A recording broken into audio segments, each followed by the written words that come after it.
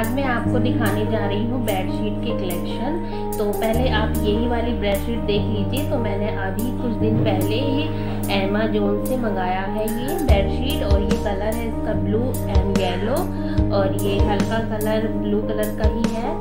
और ये zig Jack वाला है। देख लीजिए आप कितनी प्यारी बेडशीट लग रही है।